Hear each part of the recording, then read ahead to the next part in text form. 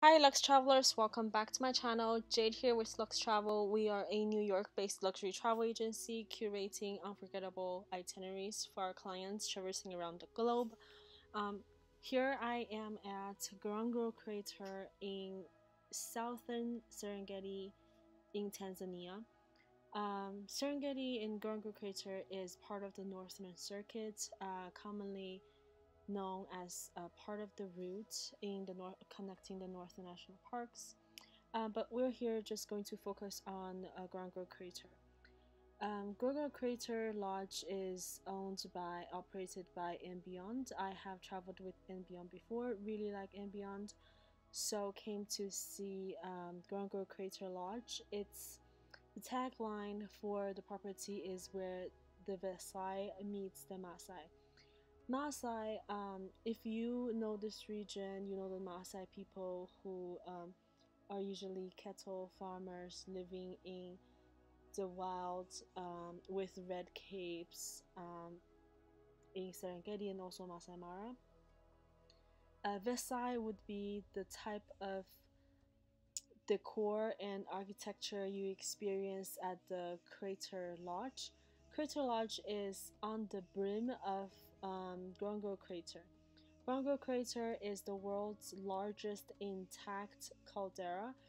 Descending down to um, the crater bottom, you will see the wildlife there.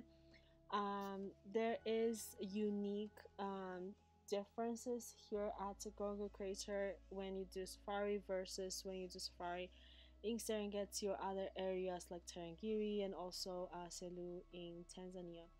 So Ngorongoro Crater, being a um, intact caldera, the residents wildlife that are staying there are used to vehicle. In, um, I know in other places wildlife are also used to vehicle, but it's different here. They are very used to the um, safari vehicles.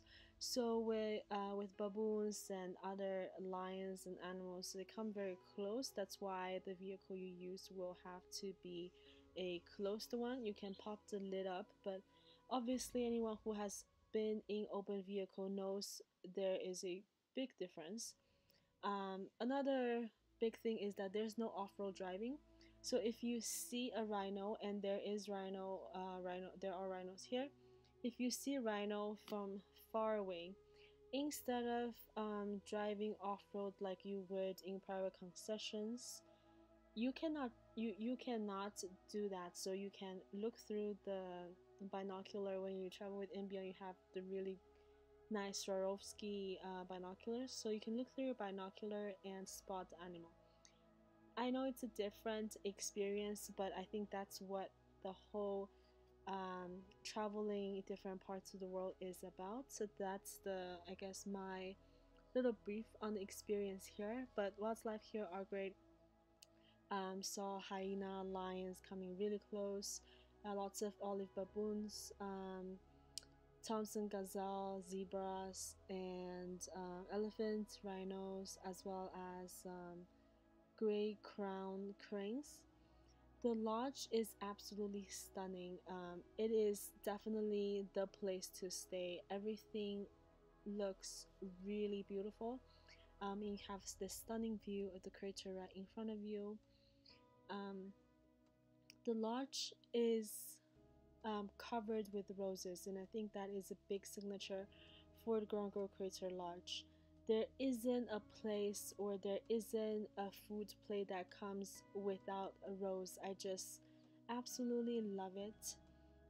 It's really romantic. Um, I am vegetarian, so with my dining menu, they have special dining menu with my name on it really liked that and the lounge area and it's so the usual sundowner if you're in the bush plains then um, I know most of the times sundowners are out um, in the middle of the plains here you will have it at the lounge area the same type of inclusion uh, game drive um, activities food drinks as well as uh, laundry, this type of stuff with & Beyond and other luxury safari companies. Yeah, it's um, included here. At night, it does get a bit cold. Um, there is a heating pad in on um, that's installed in bed.